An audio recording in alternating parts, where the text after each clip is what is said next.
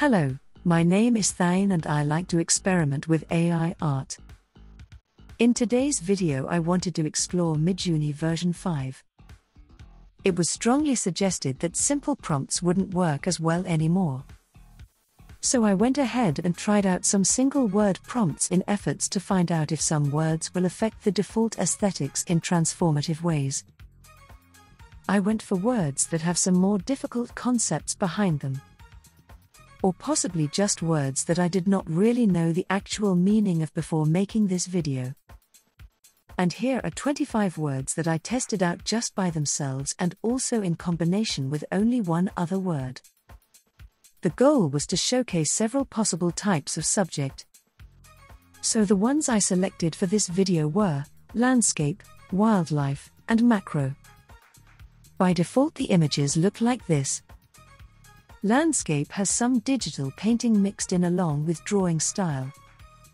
Wildlife is very photographic and photorealistic and macro also looks very photographic and all images seem to have some borders and signature artifacts on them. The next reference set is city, interior, and architecture. I wanted to showcase an urban environment so I chose city. I almost went with still life, but eventually realized that it wasn't a really varied subject matter. All the images looked basically the same to me. Just vases, fruits and flowers. Interior has a variety of places that have interiors. Two churches in the mix. And architecture gives mostly exterior shots of buildings. And another set for reference is portrait, fantasy, and sci fi. Portrait in version 5 gives some really varied results. No women here this time. Fantasy seems to depict castles and sci fi depicts spaceships or futuristic cities or skyscrapers. The first word I tested out is ethereal, meaning delicate and light, often with a heavenly or spiritual quality. This is one word that I have added to my prompts before as well, and it might be quite popular. And it doesn't disappoint in Midjourney 5 images either. I like the angelic and flowy aesthetic that this word adds to Midjourney version 5 prompts. To nature images, it seems to add mist and light shining through that mist. For architecture related images, it also adds some kind of a misty feel. For city, we get a mix of futuristic and modern cities that are kind of otherworldly. Interior and architecture images get very light colors, Portraits and fantasy images seem to depict angelic brides basically. And sci fi gives some concept art with this combination.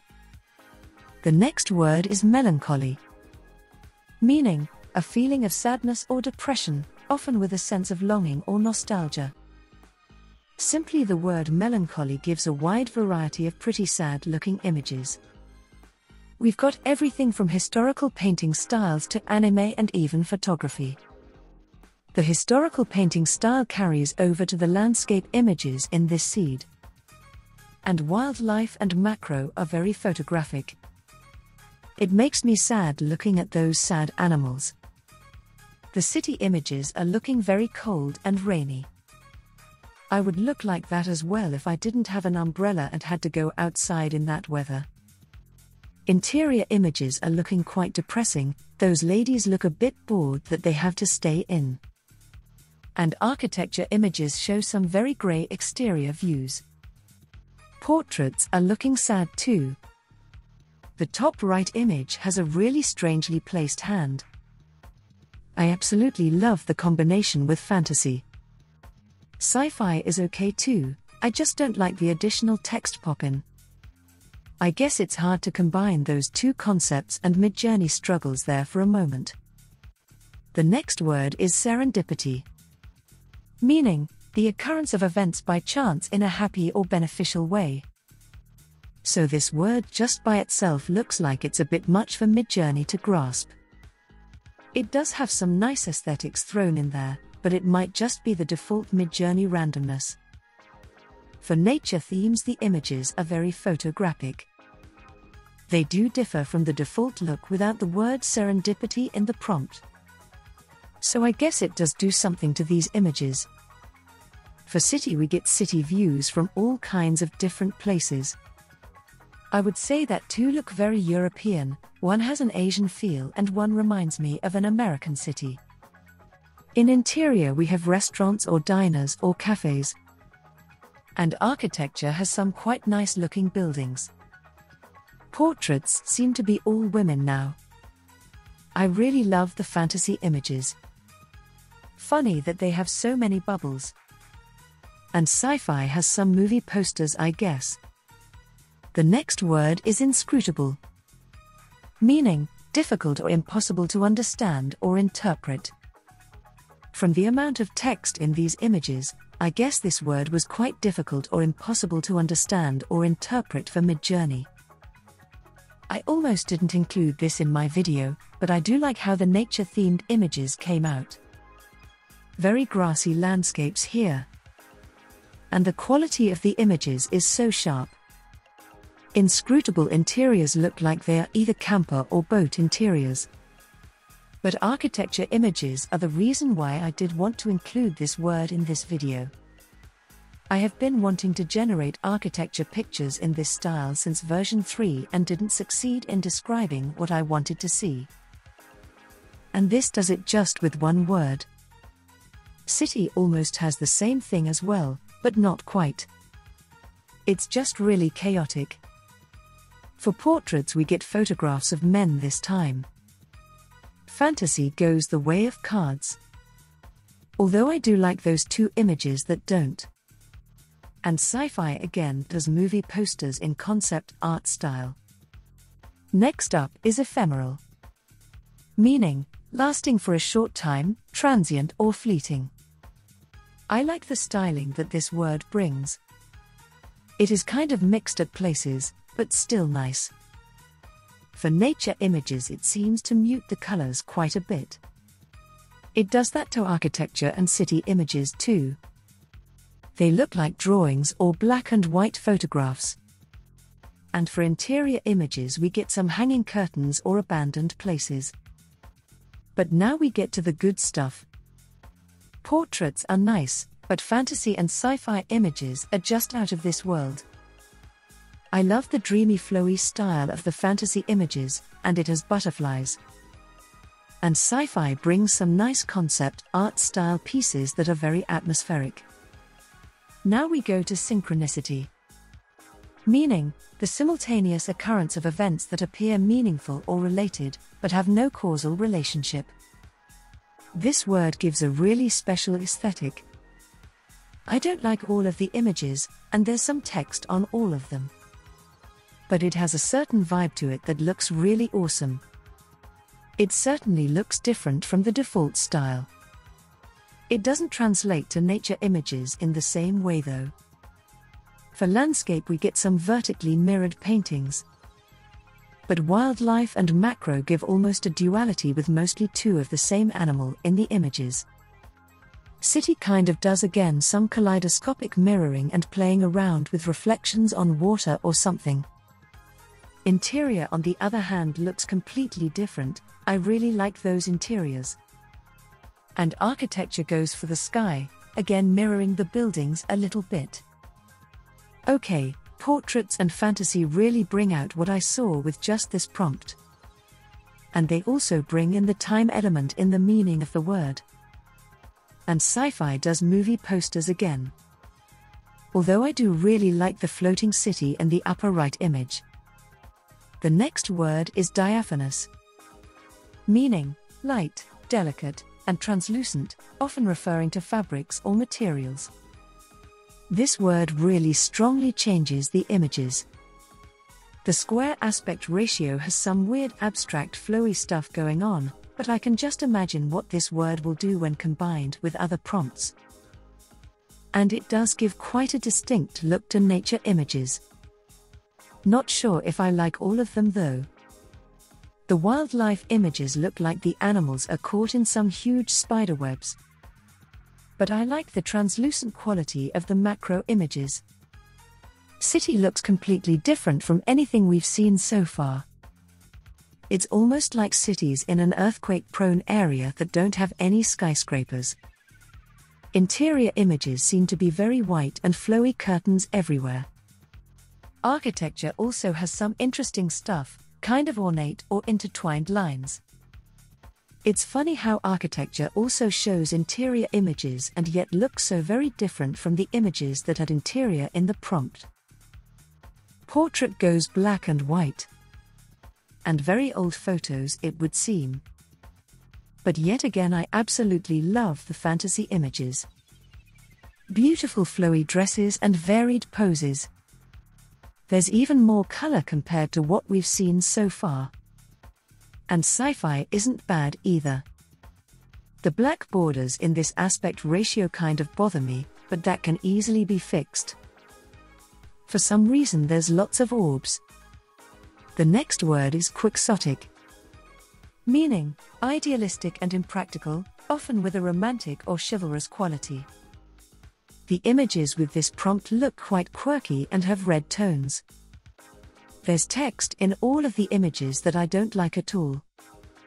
But keep in mind that I haven't done any remediation yet to get rid of stuff like that. I guess macro looks the most normal to me out of these. Wildlife has lots of animals on top or next to each other. Kind of weird, but okay and I really like what has happened to landscapes with this prompt. Almost like abstract in some parts.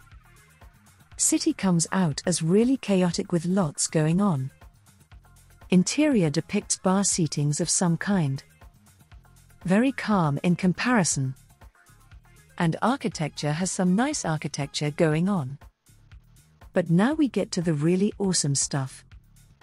There is some text artifacts on most of these images, unfortunately, but I really like the style of these images. It is so varied too, you never know what you're going to get with this word. Might be not so good if you have something specific in mind, but good for exploring what's possible. We also have nebulous, meaning, resembling a nebula, indistinct, vague, or unclear. With this word, though, Midjourney does know what to do. I like it because it gives the image the space why look. And it's exactly what has happened in the nature images. For landscapes and wildlife, we get a really starry night sky with Milky Way in the picture in quite many images. And the macro for this word gives images that are out of this world. Maybe literally? But they don't look like we've seen so far with the macro category. City also gets a very sci fi look with the night sky. Interiors look very nice and futuristic. And architecture looks a bit cloudy and unrealistic, but the appearance is really pretty. Portraits and fantasy too lean heavily on the space and stars theme. And sci fi just goes to spaceships as one would expect. Next up, we have Serenity. Meaning, a state of calmness, tranquility, or peacefulness. So, this is actually not that unknown. But it really gives images a distinct feel. Seems to be Asian themes in the images quite often. And lots of calm water. It continues to the nature images as well. Landscapes are, as expected, more waterscapes.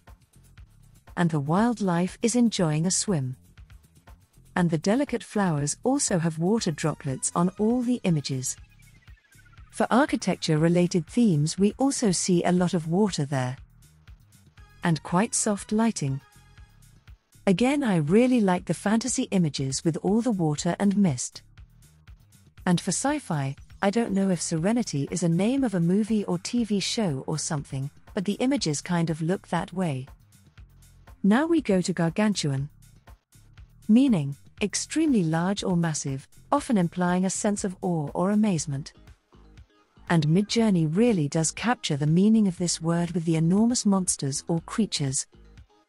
Quite many of them seem to be kind of cartoony or drawn style.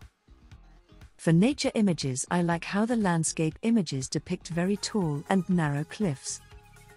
The animals look also totally huge.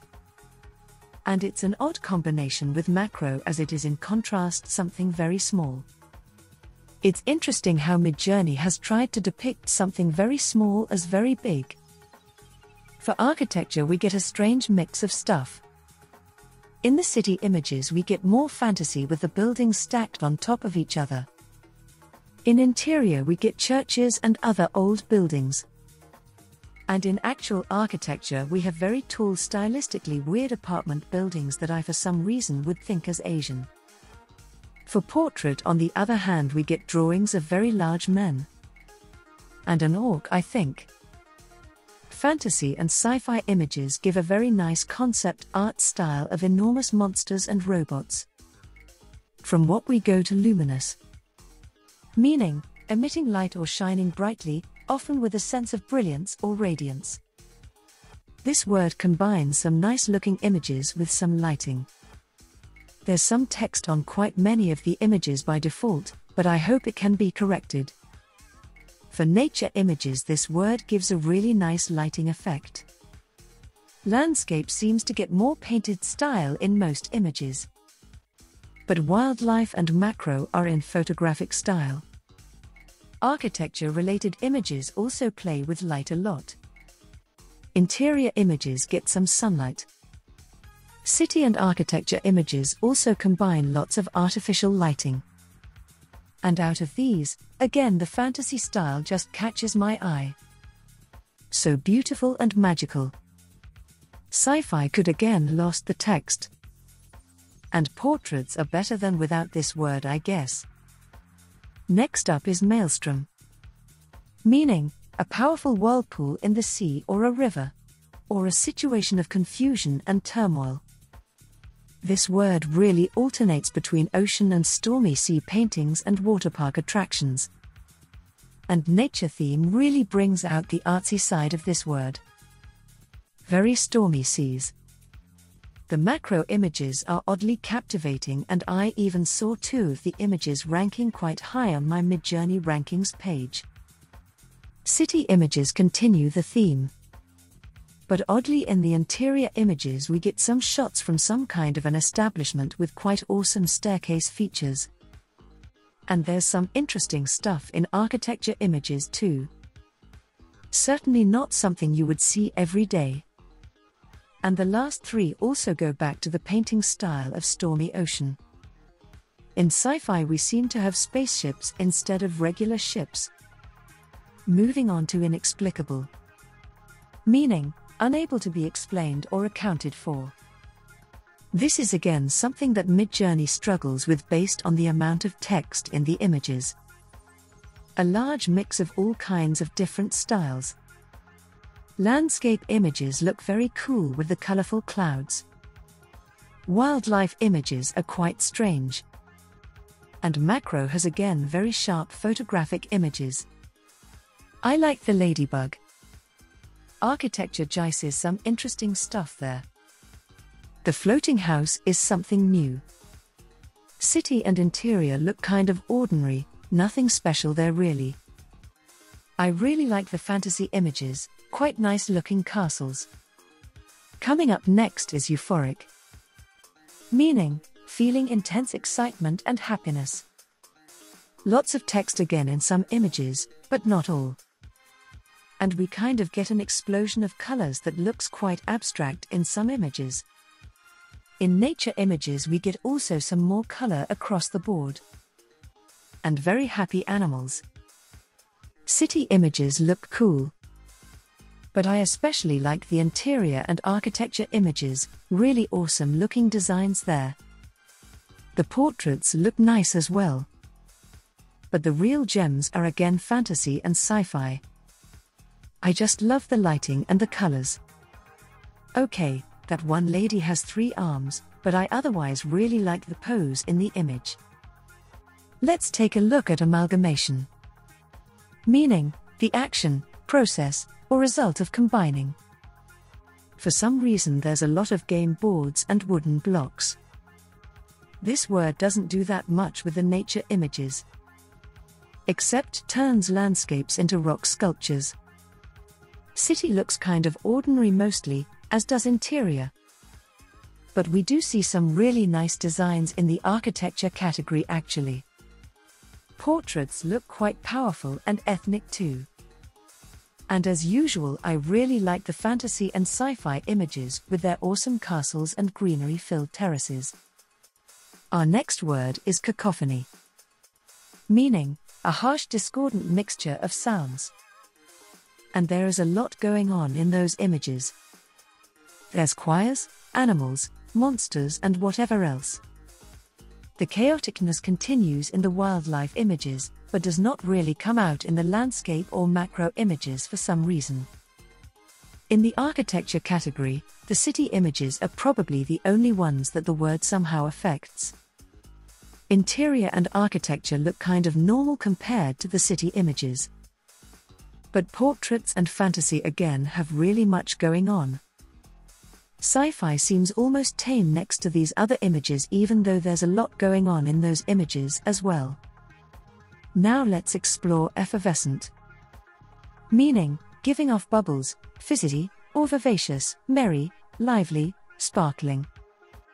And the fizzy drinks and bubbles are present in all of the images basically. In nature images, we get some nice summery bubbly stuff too. Wildlife animals are either splashing in the water or drinking it. And lots of bubbles in macro images as well. City and architecture images have also a lot of bubbles in them. Architecture even has some of them incorporated in the designs. And more bubbles in the rest of the images too. Almost like underwater. Fantasy images are again my favorites.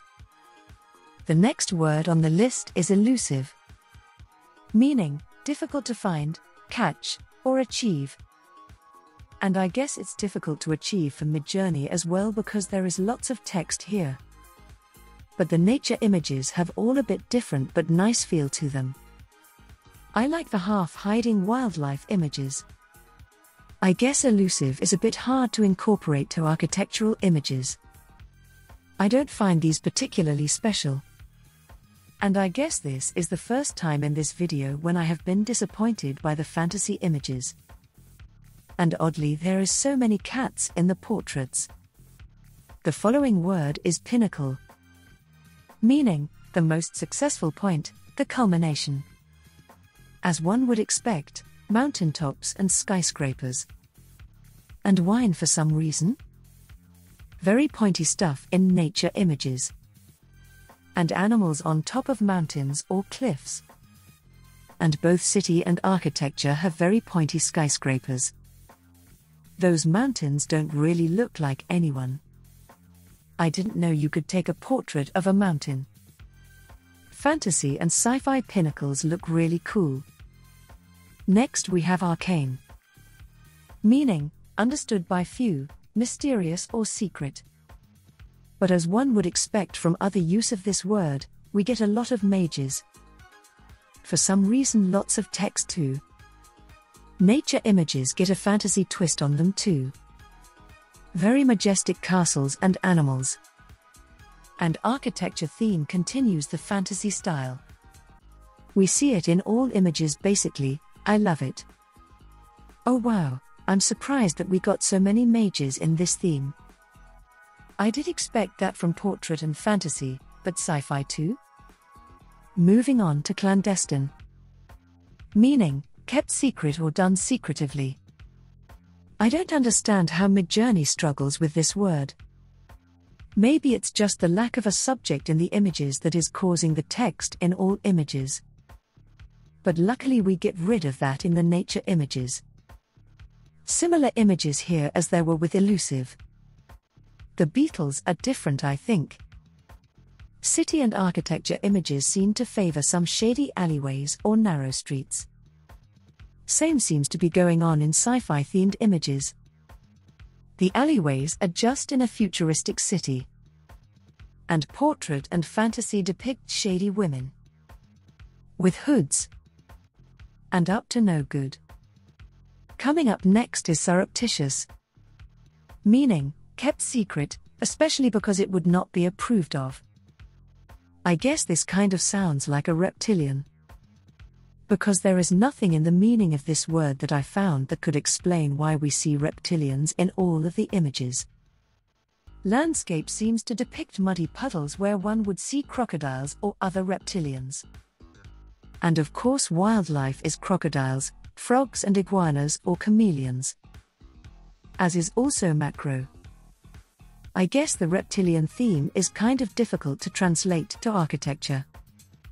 But we do see some scaly stuff here too. And in portraits, fantasy, and sci fi, we go back to reptilians. Very scary looking creatures there, but I love these images. Let's take a look at ubiquitous.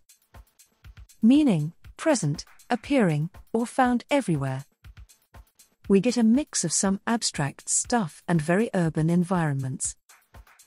Even in landscapes, we have some urban parts. And wildlife animals are also mostly of animals in an urban environment. Macro doesn't seem to know what to do with this word. Not especially big changes to the architecture related images, as they usually are quite urban.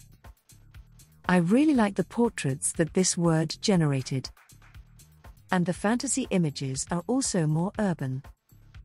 Sci fi images look like just normal sci fi images, no big changes there. Our final word is peculiar. Meaning, strange or odd, unusual.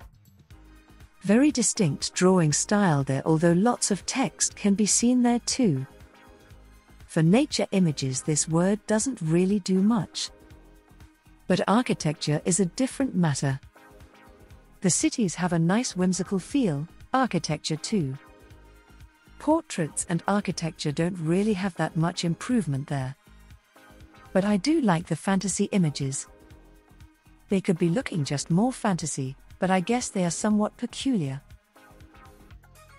I hope you also find some things that you liked out of these. If you did, consider liking this video and subscribing to my channel for more content like this and I also appreciate all comments, they help me improve what I do here. But let's continue prompting.